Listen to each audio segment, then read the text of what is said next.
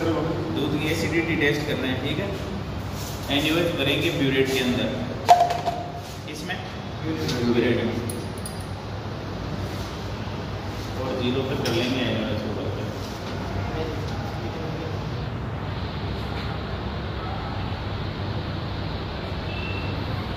ज़्यादा आ गया तो वापस निकाल लेंगे।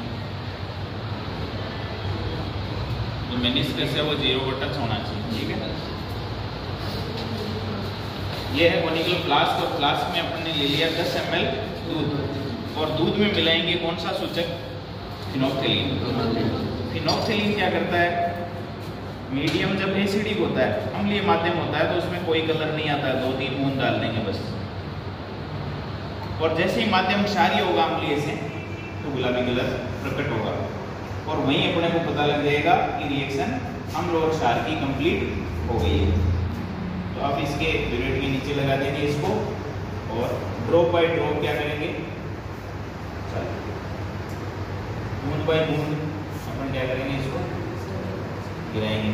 और साथ में इसको रोटेट करते रहेंगे ताकि जो एनओएच गिर रहा है, वो क्या रहे?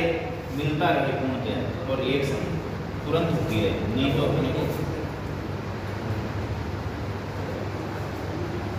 और ये भी अपने को ध्यान रखना है कि दीवार पर जो लग रहा है वो नहीं दीवार पर नहीं होना चाहिए। ये जो लग रहा है, उसको भी आप काम में और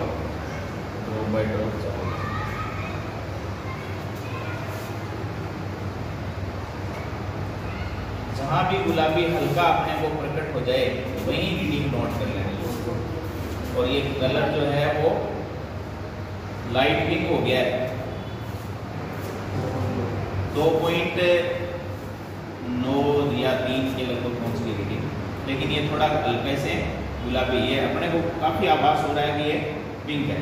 अब इसमें जैसे जैसे क्षार की मात्रा बढ़ेगी वैसे वैसे ये देखो, और डार्क होता चला जाएगा, गहरा गुलाबी हो जाएगा। ये रीडिंग नोट नहीं करनी है। जहाँ भी अपने को आभास हो जाए ये पिंक हो गया, वही रीडिंग अपने को नोट करनी है। पहले वाला भी क्या था?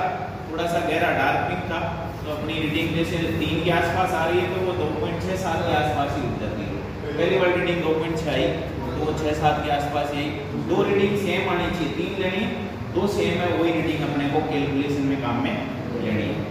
तो एसिड की मात्रा जितनी ज़्यादा होगी दूध में, उतनी ही लेट रीडिंग आएगी, यानी उतना ही एनएवए ज़्यादा काम में आएगा।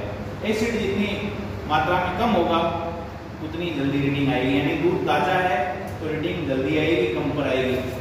यदि पुराना दूध है, कल का परसों का तो एसिड की मात्रा ज़्यादा होगी यानी वह ज़्यादा खर्च करना पड़ेगा और रीडिंग ये है